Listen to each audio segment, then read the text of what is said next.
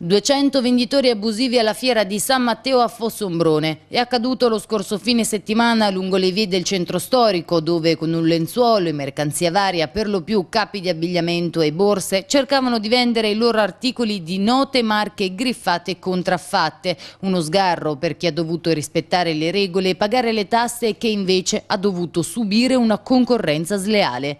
Come raccontato dal vice sindaco Michele Chiarabilli, il comune ha dovuto predisporre un piano di contrasto. Abbiamo dovuto coordinare il comando di polizia municipale che avevamo 5 addetti, più 5 addetti di una società privata che ci ha dato una grossa mano e che volevo pubblicamente ringraziare. Avevamo avuto la Croce Rossa che ci ha aiutato nel traffico e anche le GEV e gli ispettori ambientali. Quindi è stato un coordinare di forze, però chiaramente è stato un grosso impegno che richiederà sicuramente di essere rivisitato anche in futuro. Già in previsione di questo e già dai giorni precedenti avevamo allertato e comunicato comunicato questo potenziale evento anche alla Prefettura e alla Questura. La polemica era già nata fin dalla giornata di sabato quando al nodo di scambio delle corriere nell'area adiacente alla stazione ferroviaria di Fano alcuni studenti sono stati costretti a scendere dall'autobus per far posto a una settantina di venditori abusivi diretti alla fiera e pronti a vendere nuovamente nonostante fossero stati allontanati poco prima dalla città forsempronese. Non sono stati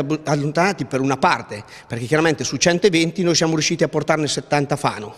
Chiaramente abbiamo impedito per tutto il pomeriggio a questi di poter lavorare, però già noi sapevamo che era difficile contrastare questo fenomeno, per quello che avevamo cercato di attrezzarci, però dobbiamo farlo ancora con più forza e questo non è che può capitare solo a Fossombrone perché le condizioni stanno sempre più peggiorando per queste persone. E bisogna fare anche una lotta serrata e determinata sia nei confronti di chi gli vende il materiale, e cioè chi glielo rifornisce, ma anche di chi lo compra, perché è ora di stroncare alla radice sia a livello regionale ma anche a livello soprattutto nazionale questo fenomeno che ormai imperversa in tutta Italia.